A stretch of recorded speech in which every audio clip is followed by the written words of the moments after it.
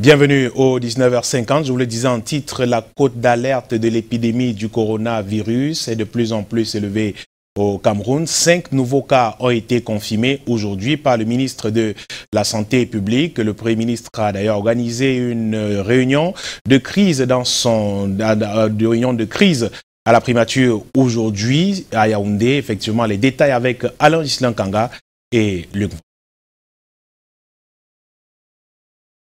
L'épidémie Covid-19 souffle de plus en plus fort au Cameroun. Ce vent ravageur a poussé le Premier ministre à convoquer une réunion de crise à l'immeuble Étoile ce mardi à Yaoundé.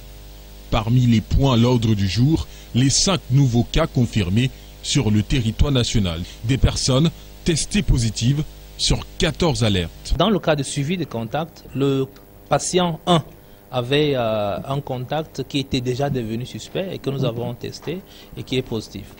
Le dernier euh, euh, cas positif, qui est une dame d'ailleurs, était en famille et donc les trois autres cas positifs sont des contacts de cette dernière. Et puis il y a un cas importé comme d'habitude, comme vous le savez très bien, ce sont ceux qui viennent de l'autre côté. Le chef du gouvernement recommande le renforcement des mesures de sécurité notamment à travers le respect des règles élémentaires. Sont des mesures de distanciation. Donc euh, les mesures d'hygiène usuelles, euh, les mesures euh, visant à, ne pas trop se rapprocher les uns des autres, à ne pas se saluer et à se, à se tenir un peu plus à l'écart.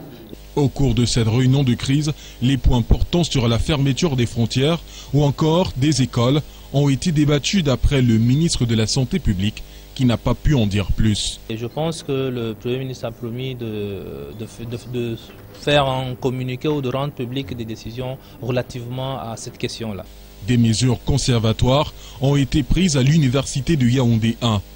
Les salles d'amphithéâtre sont fermées depuis ce matin. Pour cause, le recteur Maurice Aurélien Soso, dans un communiqué, a annoncé la suspension des cours à compter du 17 mars au 13 avril prochain.